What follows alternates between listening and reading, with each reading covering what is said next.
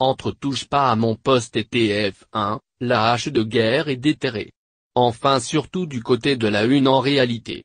Après les révélations de Cyril Hanouna sur le coup de pression mis par le programmateur de quotidien à Pierre-Ambroise Boss, la chaîne avait en effet, selon l'animateur, décidé d'interdire aux personnalités liées à elle de se rendre sur le plateau de TPMP.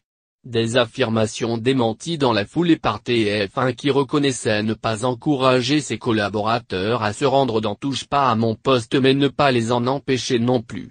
Seulement, ces propos, la chaîne les a tenus jeudi dernier, avant que Cyril Hanouna ne s'affiche en slip sur la tour TF1 de Boulogne-Billancourt.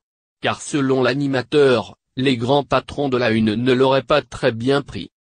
Tellement pas bien que mardi dans Touche pas à mon poste, Cyril Hanouna a annoncé qu'il était désormais officiel que plus aucune personnalité de TF1 n'aurait le droit de se rendre dans son émission, c'est sûr et certain. On avait prévu hier Miss France 2017, qui devait venir jeudi, c'est annulé, l'élection de Miss France étant organisée sur TF1, NEDLR.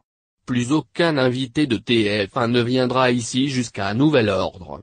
TF1 l'a mal pris. C'est leur choix, ils ne veulent pas. Sachez que nous, on ne va pas non plus pleurer, on ne s'en portera pas plus mal.